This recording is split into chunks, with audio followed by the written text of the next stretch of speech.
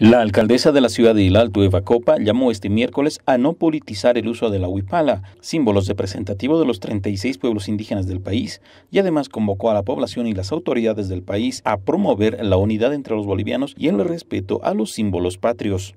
Nosotros educamos a nuestros hijos para que sean hombres de bien, mujeres de bien, no para que vayan a agredir a nuestros hermanos, no para que insulten al otro, no para que agredan, discriminen, no ya no es tiempo de confrontación, ya no es tiempo de división, es tiempo de que nos unamos, es tiempo que hablemos el lenguaje de la paz para todos nosotros.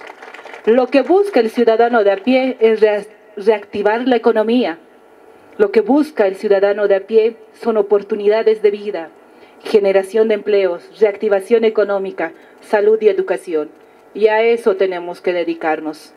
En la oportunidad, la alcaldesa Eva Copa manifestó su solidaridad con el vicepresidente David Choqueanca por el desaire que le hizo el gobernador cruceño Fernando Camacho, por lo que dijo que no se va a permitir que se le falte el respeto. Mi solidaridad con el vicepresidente, porque él es aymara como nosotros, y no vamos a permitir que nadie le falte el respeto, porque aquí ha habido elecciones democráticas donde el pueblo ha decidido quiénes son los que los comandan.